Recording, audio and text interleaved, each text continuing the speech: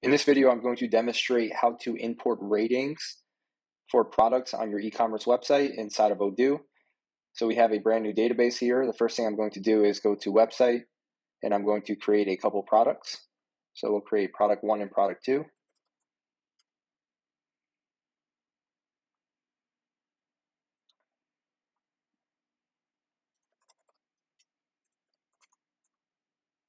And we're going to publish both of these products so they're available on the website. So you can see that is published and then we'll just update both of these. And now they're both available on the website.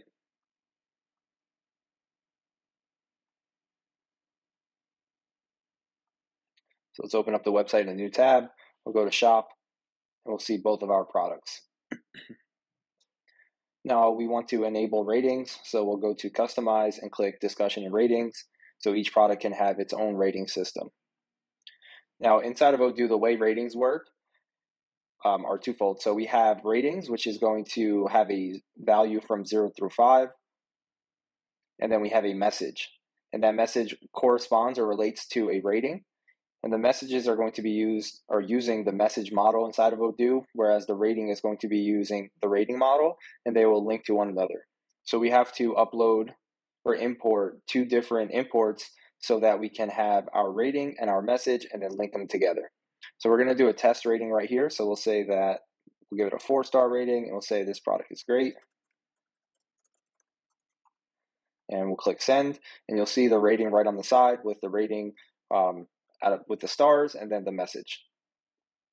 Now in the back end, what happens is if we go to our product and we'll go to product one, you'll see in the chatter we have our rating. And this rating is going to be linked to a particular rating inside the rating model. And the way we can see this is by using our Studio app, and we're going to add two menu items, one for message and one for ratings. So we'll click Edit Menu, we'll click New Menu, and we'll say Ratings from an existing model, which is going to be our rating model. And we're also going to add messages. So we'll say messages from an existing model, and it's going to be our message model. And we'll click confirm. We can close out of Studio.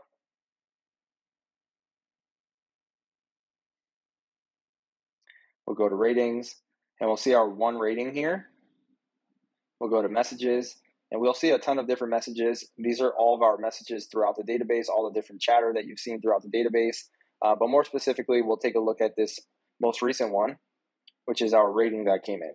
And this rating is related to our rating that we created. And you can see under the ratings tab, we have one related rating to this message. Inside of ratings, we're going to need to import to this. So we'll go to Studio and we'll click Can Create. This will allow us to go to Action Import, or Favorites Import Records, I should say. And this will allow us to import right to that. So now I have a pre-built out Excel sheet where I have all the fields that we need in, in order to import. So I'm going to pull that up.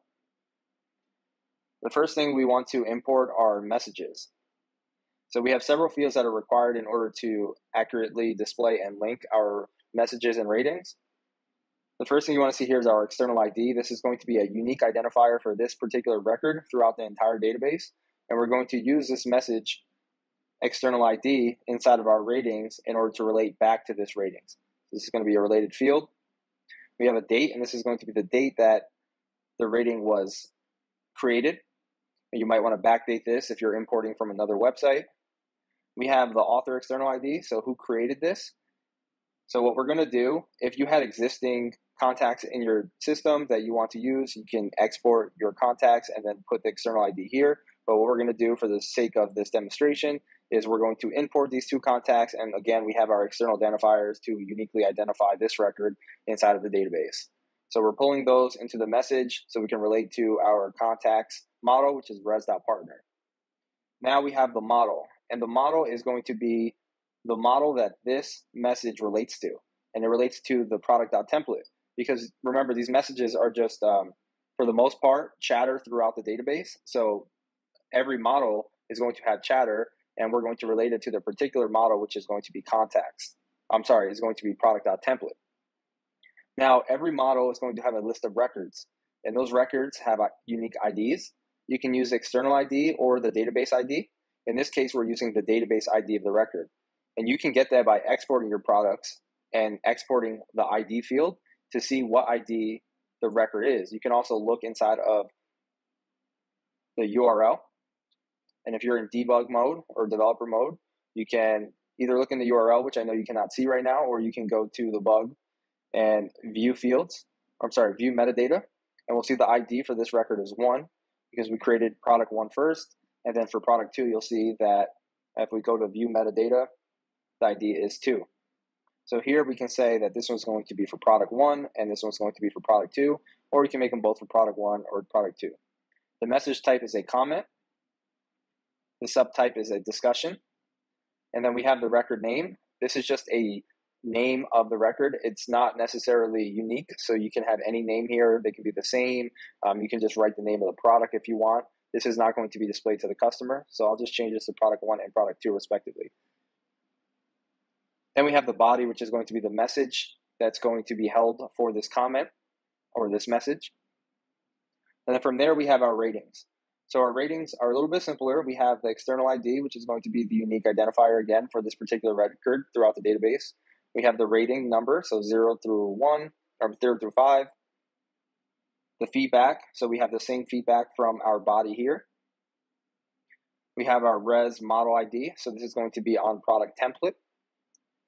We have the ID of the product again, so we want to copy over the same ones we have here, so 1 and 2. We have the external ID of the message associated with this rating. So we have message 1 and message 2. And keep in mind you can have as many as you want and as many ratings and messages as you want per product. Consumed is, tr- is uh, true. So this is going to link our ratings and messages and then we have our partner ID, which is going to be the same partner ID that we set on our message. So a lot of duplicate fields there. Um, and I know it seems like a lot, but once you just set up these fields, it's fairly simple. So I'm going to save this and then we're going to test and import. So let's go back to our model here or our database. The first thing we're going to do is go to customers and we're going to import our two customers. Let's go to downloads. We'll import our ratings and we're going to import our contacts. Very simple, external ID, name, and email. So we can test that and import because everything seems fine. So now these both both of these records have that external identifier associated with them that we can use anywhere in the database. Next thing we're going to do is go to ratings and import our ratings. So we'll import records and we'll go click our same file and we'll click ratings. Actually, what we want to do first, I'm sorry, we want to actually import our messages. So we'll go to favorites, import records, upload file, and we'll import our messages. And since I wrote these descriptions in, we actually have to delete these descriptions. The system's going to pick them up, but I will leave them on a sample file attached to this video. So let's save that one more time, and then we'll reload that file in. So we're uploading messages. As you can see, all the fields come in automatically. We have the external ID, date, the external ID of the author, the model, the ID, the message type, the subtype, the record name, and the body. So we can test that. Everything seems valid, so we'll go ahead and import that. Now we imported one to each record. If we refreshed our page on product one, we'll see that we currently have that message brought in. It has two comments, but the rating is not there yet. And now we need to link that rating.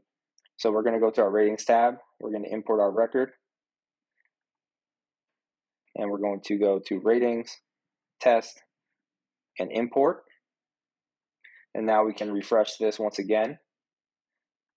And we'll see now that the, rate, the rating is attached to the comment. We have our two reviews, the one original review, the new one that we created for Bob. And if we go to product two, we'll have one review for product two. As you can see here, a two star, and we have our comment. So that's all you need to do uh, in order to import ratings into your system in case you want to import all your ratings for products from an old system.